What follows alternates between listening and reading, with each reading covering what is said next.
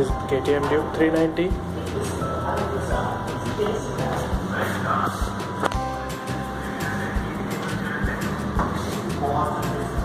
and this is TFT display.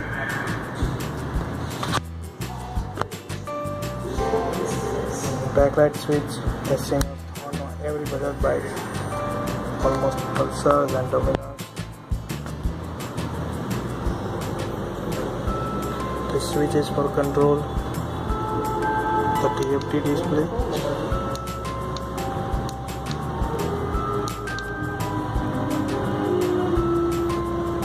this is headlight switch this pass button high beam